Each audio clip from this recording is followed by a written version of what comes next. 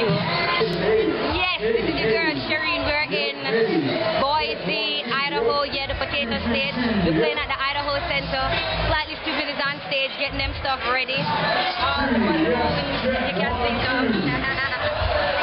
yeah, we just watched Pepper, killed it. Sly & Robbie was tight. We were well, well, well received. As it comes to Jamaican representation, Paul, Petunia, Peter, Rabbit, number half crisis, so we're definitely gearing up to that.